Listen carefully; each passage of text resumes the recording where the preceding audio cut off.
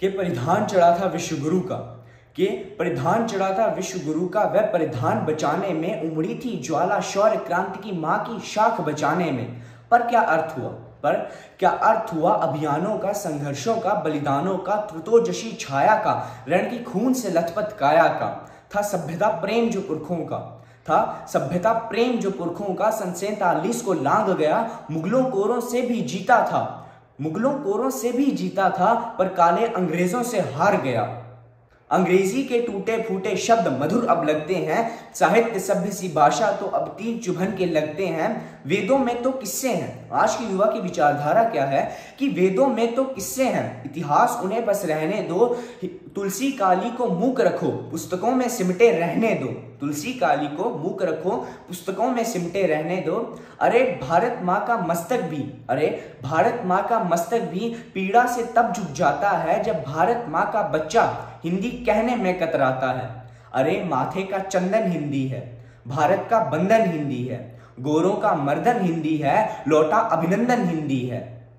हिंदी राग नहीं हिंदी, राग नहीं, अनुराग नहीं, बंदूक नहीं, संदूक नहीं, अलगाव नहीं, टकराव नहीं, लोगों के दूषित भाव नहीं, ना ही हिंदी अभिलाषा है, ना ही हिंदी अभिलाषा है। अरे, जोड़े जो उनतीस बेटों को, हिंदी तो भारत माँ की आशा है, हिंदी तो भारत माँ की आशा है।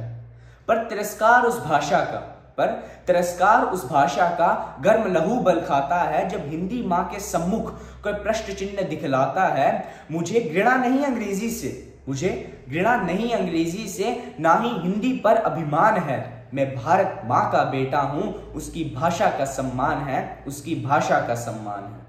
संविधान का तीन सौ एक संशोधन इस बात को सामाजिक रूप से मान्यता देता है कि हिंदी, जिसकी लिपि देवनागरी है, वह भारत की आधिकारिक भाषा नियुक्त की जाती है। नमस्कार। मेरा नाम उपलक्ष शर्मा है और मैं नवीं कक्षा का छात्र हूँ। संविधान का यह संशोधन 14 सितंबर उन्नीस को हुआ था, जिसके बाद गत वर्ष उन्नीस में पहली बार हिंदी दिवस मनाया गया था।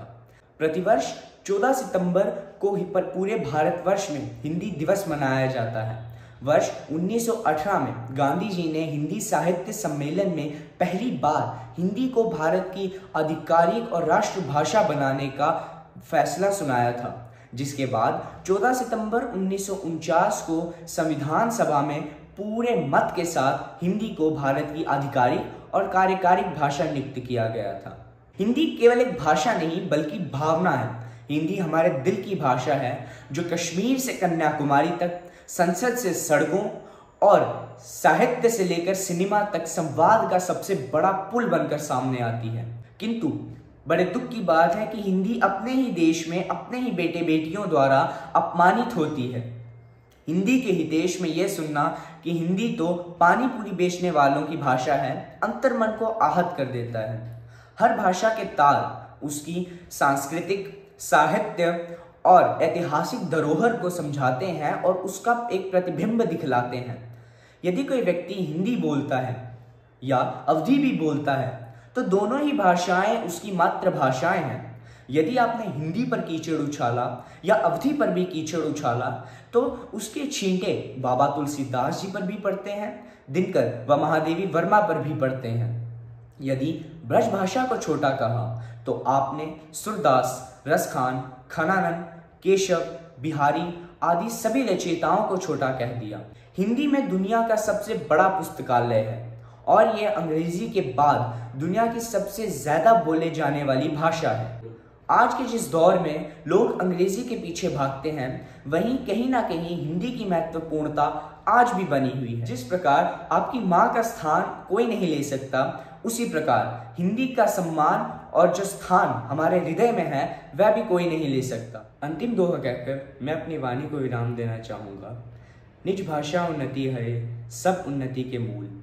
बिन निज भाषा ज्ञान के मिटत नहीं के सूल अंग्रेज़ी पढ़ी के जदपि सब गुण होत प्रवीण बे निज भाषा ज्ञान बिन रहत हीन के ही उन्नति पूरी है तब ही जब घर उन्नत होए, निज शरीर उन्नति किए, रहत मूड सब कोय धन्यवाद, हिंदी दिवस की हार्दिक शुभकामनाएँ। नमस्कार, मैं शगुन गुंबल, कक्षा ग्यारहवीं की छात्रा आप सबके समक्ष श्री राम दरी दिनकर सिंह की कविता प्रस्तुत करती हूँ। सच है, विपत्ति जब आती है, कायरों को दहलाती है सूरमा नहीं विचलित होते, क्षण एक नहीं धीरज खोते। विघ्नों को गले लगाते हैं, कांटों में राह बनाते हैं। है विघ्न कौन ऐसा जग में? टिक सके ना वी नर के मग में। खम ठोक ठेलता है जब नर, पर्वत के जाते हैं पाँव उखड़।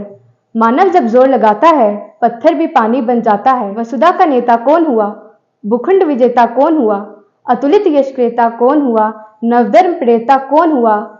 जिसने ना कभी आराम किया, विघ्नों में रहकर नाम किया। धन्यवाद।